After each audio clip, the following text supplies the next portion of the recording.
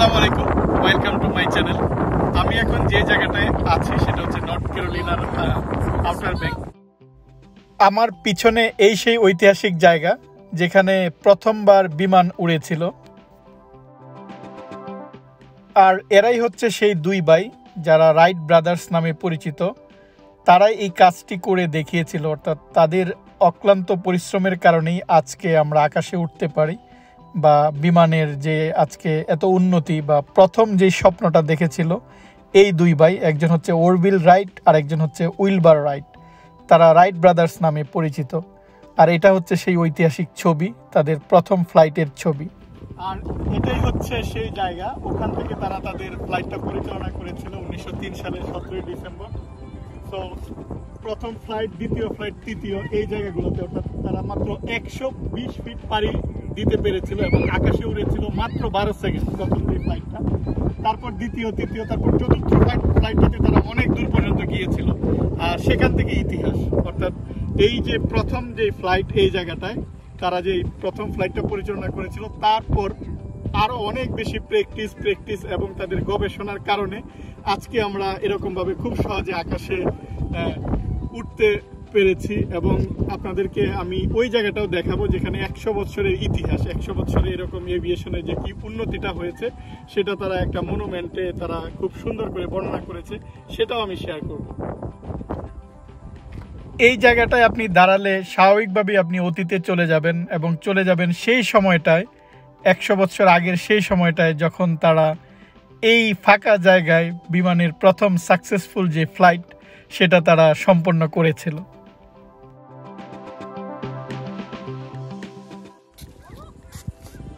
এটা হচ্ছে তাদের প্রথম রানওয়ে এই জায়গাটায় তারা টেম্পোরারি এখানে বাড়ি করেছিল, অর্থাৎ এই জায়গাটায় থাকার জন্য।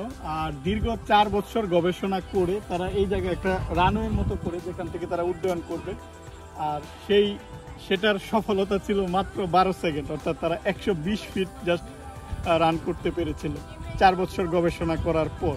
তারপর অনেক গবেষণা হয়েছে, অনেক ইমপ্রুভমেন্ট হয়েছে, আর বর্তমানে আমরা এই অবস্থায় এসেছি। রাইট ভাইয়েরা ছিল পাঁচ ভাই বোন এর মধ্যে উলবার রাইট সবচেয়ে বড় এবং ওরবিল রাইট ছোট।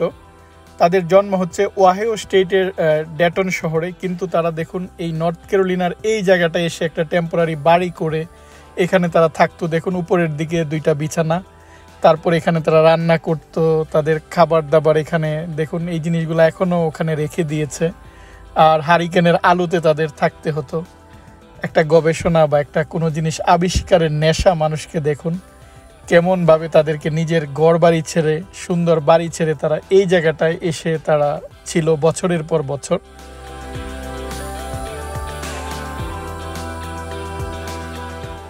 ফার্স্ট ফ্লাইট মাত্র একশো বিশ ফিট তারপর পরবর্তী ফ্লাইট দুই নাম্বার সেটাও বারো সেকেন্ড একশো পঁচাত্তর ফিট তিন নাম্বার ফ্লাইট পনেরো সেকেন্ড দুইশো ফিট চার নাম্বার ফ্লাইটে তারা প্রায় এক সেকেন্ড আকাশে উঠতে পেরেছিল, সেটা আটশো বান্ন feet so this is the area অর্থাৎ এই জায়গাটা, এখানে পিলার দিয়ে তারা বর্ণনা করেছে যে এক, দুই, তিন, চার নাম্বার ফ্লাইট আর সেটা তারা করেছিল উনিশশো তিন সালের সতেরোই ডিসেম্বর।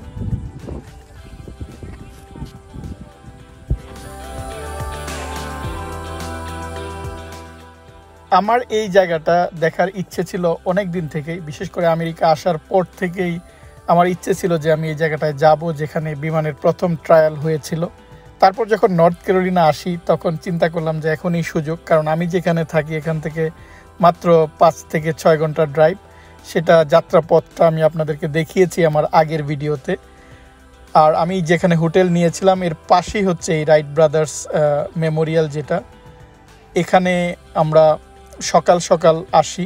দশটা এটা প্রতিদিন খুলে, দশটা থেকে পাঁচটা পর্যন্ত খোলা থাকে। আমরা দশটার পর পরই এখানে চলে আসি। আর আপনি যখনই এখানে আসবেন, প্রবেশ পথে এখানে কাউন্টার রয়েছে। অর্থাৎ টিকিট কেটে তারপর প্রবেশ করতে হবে।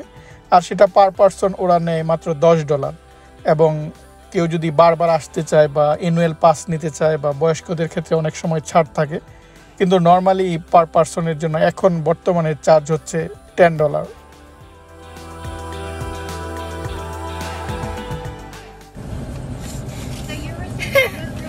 You were saying There is a mask requirement in case you do go for a visitor center. We also provide one for you in case you don't have one. Uh, we have. At 10 o'clock this morning, there will be a ranger call from the back patio. Wright ব্রাদার্সের মধ্যে যে বড় ভাই Wilbur right উনি মাত্র পঁয়তাল্লিশ বছর বেঁচে ছিলেন আর উনি পেশায় ছিলেন বাইসাইকেল বিক্রেতা সো একজন বাইসাইকেল বিক্রেতার স্বপ্ন হচ্ছে বিমান বানানোর চিন্তা করতে পারেন আর ছোট ভাই যে অরবিল রাইট তিনি অনেক বছর বেঁচে ছিলেন ছিয়াত্তর বছর, এবং উনিও ছিল বাইসাইকেল বিক্রেতা, অর্থাৎ ওদের এটা ব্যবসা ছিল, সাইকেল বিক্রি করা। আর সেই সাইকেল বিক্রির বা সেই জায়গাটা থেকে দেখুন কেমন আবিষ্কার মনস্ক মানুষ ছিলেন ওরা। আর এই আবিষ্কারের নেশায় তারা তাদের জীবনটা উৎসর্গ করেছেন এবং চিরকুমার ছিলেন, কারণ ব্যস্ততার কারণে তাদের বিয়ে করার সময় হয়নি। এখানে দেখুন লেখা যে ইমাজিন উই আর হিয়ার অর্থাৎ এই জায়গাটা যেখানে বিমানের প্রথম ফ্লাইট প্রথম ফ্লাইট ওরা পরিচালনা করেছিল। আর বর্তমানে ওদের স্মরণে এখানে যে মেমোরিয়ালটা করা হয়েছে বা জাদুঘরে এখানে নানা কিছু সংরক্ষণ করা আছে, এই সেই দুই ভাই যারা অসম্ভবকে সত্যি সত্যি সম্ভব করেছে বা করেছিল ফলে আজকে আমরা এক মহাদেশ থেকে আরেক মহাদেশে খুব সহজে চলে যেতে পারি। Forth about a sportsman's like vacation plan. Maybe a trip to the eastern shore of East North Carolina. The guys took the difficult trip here and they liked it so much they came back. And they did it for different years. After all that, those same two guys ended up pulling off one of the great miracles of civilization. And just a handful of years after that, just two decades, those same two guys came away with all this. Always America was always known as a place for success and wealth, but this is truly unique. This was all barren. Even to set up this whole thing out here was like an engineering marvel to do something like the guys have a memorial site in Dayton, Ohio. It makes sense, that's their hometown. The same two guys have a memorial site over in France. They also have one in the UK. You know, these two guys were the biggest stars in the world for a little while. And in 1932, December 17, there was Orville Wright was a special guest here. At the top of the very hill, he was at the dedication service of his own monument, the only time it's ever happened in this country. How amazing is that? And when he was here in 1932, you know, his brother had died maybe 20 years before, so he had to be proud and somewhat empty. But as he stood there, they put the whole thing up on the tallest hill in town, 90 feet high. And then they put a 60 foot tall structure on it. It has wings on the side for the nobility of the eagle. It has a light at the top. এই ভদ্রলোক দেখুন সুন্দর করে ওদের গল্প বা ওদের আবিষ্কারের গল্প সবকিছু একদম সুন্দর করে বলে বলে যাচ্ছিল এবং এটা প্রতি দুই ঘণ্টা পর পরই এটার আয়োজন করা হয় অর্থাৎ যখন পর্যটকরা এখানে আসে তখন ওদেরকে সুন্দর করে বর্ণনা করা হয় যে তারা কীভাবে এখানে এসেছিল, কি উদ্দেশ্য ছিল, কীভাবে ওরা তাদের সফল হয়েছিল বা তাদের ব্যর্থতার গল্প। সব কিছু উনি সুন্দর করে যেটা বলছিল সেটা শুনতে খুবই ভালো লাগছিল। রাইট ব্রাদার্সের অনেক গল্প আছে, অনেক মজার মজার গল্প আছে। যেহেতু তারা ছোটোবেলা থেকেই ছিল কৌতূহলী, ছোটোবেলা থেকেই তারা তাদের প্রশ্ন ছিল মনে যে কীভাবে আকাশে উড়া যায় বা পাখি কীভাবে আকাশে উড়ে। সো এই জিনিসগুলো এখানে তাদের বাল্যকালের ছবি, তাদের মা বাবার ছবি ভাই বোনদের ছবি এই জায়গাটায় রাখা আছে এবং তাদের কীভাবে তাদের এই আবিষ্কারের নেশা মাথায় চেপে বসল। এই যে দেখুন যে অনেক আগে থেকেই কিন্তু মানুষ আকাশে উঠতে চাইতো যে কীভাবে আকাশে উড়া যায় বা আপনারা জানেন যে লিওনার্দো দা ভিঞ্চি তার একটা মডেল আছে যে কীভাবে সে ড্রয়িং করে দেখিয়েছিল যে মানুষ চাইলে আকাশে উঠতে পারে। সো এই চিন্তাগুলো কিন্তু মানুষ অনেক আগে থেকেই করতো বা পাখির মতো আকাশে ওড়ার নেশা কিন্তু মানুষের মাথায় আগে থেকেই ছিল। এবং এই জিনিসগুলোর উপর একটা বই ছিল যে বইটা রাইট ব্রাদার্স অর্থাৎ উইলবার রাইট এবং ওরবিল রাইট তাদের মা বাবা সেই বইটা তাদের বাবা তাদের লাইব্রেরিতে রেখেছিল এবং ছোটোবেলায় তাদের নজরে সেই বইটা পড়েছিল। এবং তারা ছোটোবেলায় সেই বইটা পড়ে এবং এই বইটা পড়ে তারা ইন্সপায়ার্ড হয় বা কৌতূহলী হয়ে হয়ে ওঠে যে তারাও পারবে আকাশে উঠতে। বইটা তারা লাইব্রেরিতে পায়, বাসায় লাইব্রেরিতে পেয়ে তারা এই বইটা পড়া শুরু করে এবং এই বইটা পড়েই তারা ইন্সপায়ার হয়ে যায় মানুষ আকাশে উঠতে পারবে। এবং লিওনার্দো দা ভিঞ্চি, সেও একটা ডিজাইন করেছিল এখানে আছে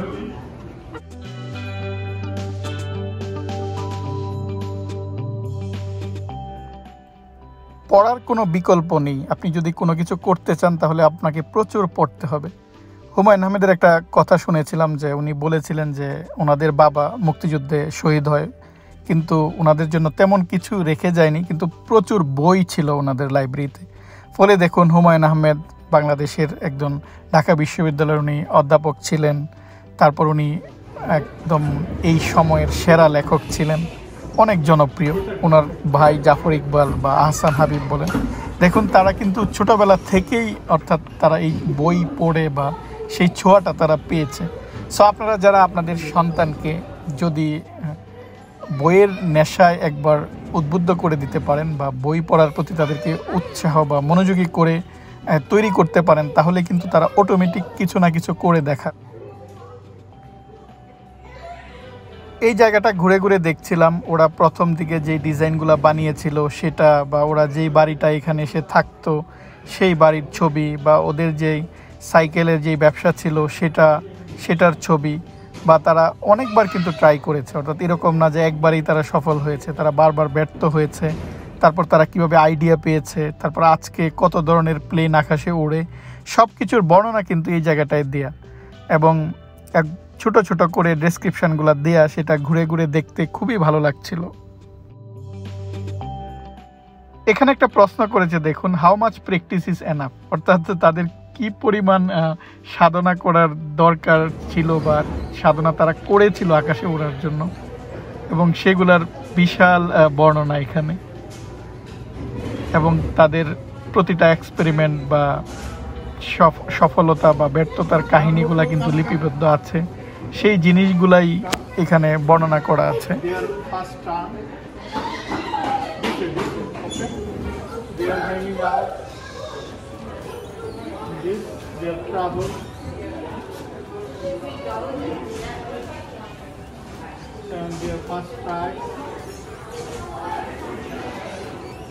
And the teamwork.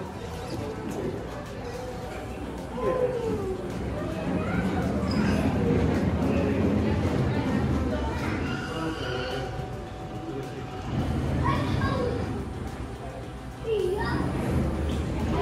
August উনিশশো দুই সালের আগস্ট মাসে ওরা এখানে আসে তাদের এক্সপেরিমেন্ট শুরু করার জন্য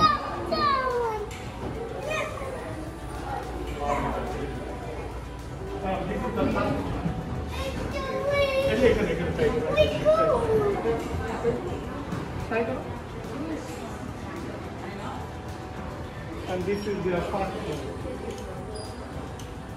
এত চেষ্টা, এত সাধনার পর দেখুন তাদের প্রথম ফ্লাইট মাত্র ছিল বারো সেকেন্ড আকাশে উঠতে পেরেছিল। তারপর দ্বিতীয়, তৃতীয় তৃতীয় বা চতুর্থবার ট্রাই করে তারা প্রায় এক মিনিটের মতো উঠতে পেরেছিল। কিন্তু তারা থেমে যায়নি। তারা আবার গবেষণা শুরু করে কীভাবে ইমপ্রুভমেন্ট করা যায়। হ্যাঁ সেটা করার পর, তারপর দেখুন পরবর্তীতে যখন উনিশশো আট সালে তারা ইউরোপে, অর্থাৎ ফ্রান্সে তারা মানুষের সামনে আকাশে উড়ে দেখিয়েছে। এবং যখন এটা নিউজ হয় প্রথমবার যখনই তারা আকাশে উড়ে আলটিমেটলি কিন্তু এটা নিউজ হয় এবং ইউরোপে বা অন্যান্য জায়গায় কিন্তু গবেষণা শুরু হয়। ফলে খুব দ্রুতই কিন্তু মানুষের যেই, যে বিমান তৈরির যেটা পরিকল্পনা বা বিমান তৈরিতে মানুষের সফলতা আসে।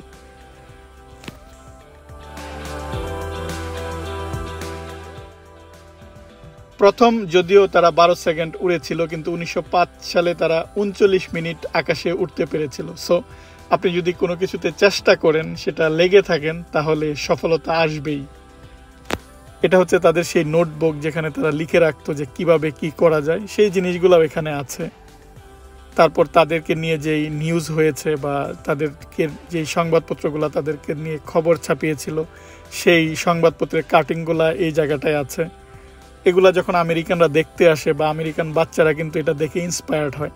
আর এই জায়গাটা একটা সুবিনির শপ আছে। কেউ যদি চায় যে এই জায়গার থেকে সে একটা স্মৃতি হিসাবে একটা মগ বা ম্যাগনেট বা কোনো কিছু টি শার্ট কেউ যদি কিনে নিয়ে যেতে চায়, তাহলে এখান থেকে কিনে নিয়ে যেতে পারে। আর আমি সচরাচর যেখানে যাই, সেখান থেকে একটা ম্যাগনেট কিনে নিয়ে আসি। তাই এখান থেকেও একটা ম্যাগনেট কিনে নিয়ে আসলাম।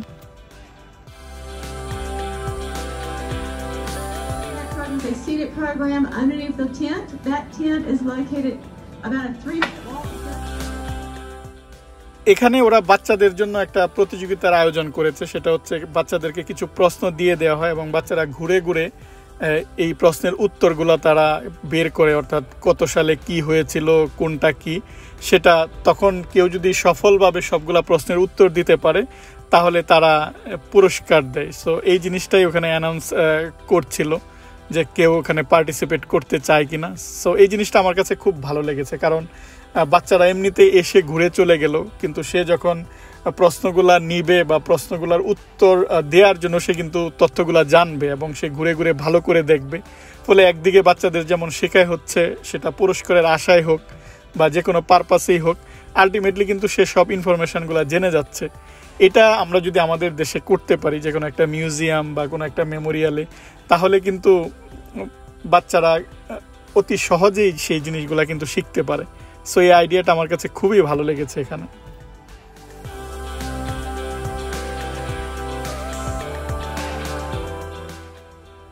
আর এই রুমটাতে দেখুন ওদের যে প্রথম যে বিমানের ডিজাইনটা কেমন ছিল যেটা আমি আপনাদেরকে বলেছি যে ঘুড়ির মতো ছিল। ঘুড়ির মতো তাদের ডিজাইনটা ছিল বা তাদের গ্লাইডারটা ছিল একটা বক্স সেই বক্সের আবার দেখুন উপরের দিকে একটা পাখা নিচের দিকে একটা পাখা। সেই জিনিসটা রিয়েল কিছু পাখা তারা ওখানে রেখে দিয়েছে, সেটাও এখানে দেখা যায়। সো এটা অবশ্যই মানুষকে ইন্সপায়ার্ড করবে। প্রথম দিকের বিমান বা প্রথম বিমানটা কেমন ছিল, আর আজকে আমরা যে বিমানে চড়ি সেটা কেমন দেখুন। সো ইম্প্রুভমেন্ট এরকমভাবেই হয়।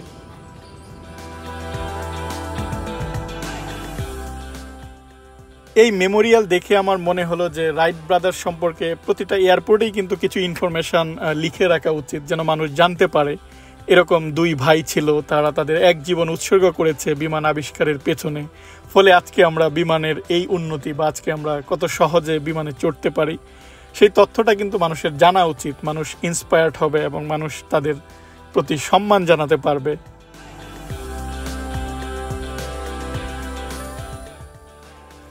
সেই উনিশশো তিন সালের সতেরোই ডিসেম্বর তাদের প্রথম যেই আকাশে ওড়া, সেটা দেখুন আজকে আমাদেরকে কত সহজ করে দিল। এক মহাদেশ থেকে আমরা আরেক মহাদেশে কত সহজে চলে যাই। সো এই যে রাইট ভাইয়েরা পেরেছিল তাদের স্বপ্ন সত্যি করতে, তারা সত্যি সত্যি আকাশে উঠতে পেরেছিল। এটা কিন্তু আমাদের অনেককে উৎসাহ যোগাবে বা নতুন কিছু করতে। তারা সাইকেল ব্যবসায়ী থেকে যে তারা এরকম বড় স্বপ্ন দেখা এবং আমি জাপানে গিয়েছি জাপানের টয়োটা সিটিতে আমি গিয়েছি, যেখান থেকে টয়োটা গাড়ি উৎপাদিত হয়। উনিও কিন্তু ছিল জাস্ট কার মেকানিক সো দেখুন কার মেকানিকের আবার স্বপ্ন হচ্ছে যে সে নতুন গাড়ি তৈরি করবে, সেটা আবার কম ফুয়েলে চলবে। সো পৃথিবীতে কিছু মানুষ আছে যারা কিন্তু এরকম স্বপ্ন দেখে এবং তাদের স্বপ্ন দেখার ফলেই কিন্তু আমাদের অনেক কিছু সহজ হয়। আজ চলে যাচ্ছি, কিন্তু যাচ্ছি না। রাইট ব্রাদার্সের স্মৃতি বিজড়িত আরও কিছু জায়গা দেখাবো পরবর্তী ব্লগে। সেই পর্যন্ত আপনারা ভালো থাকবেন। আল্লাহ হাফিজ।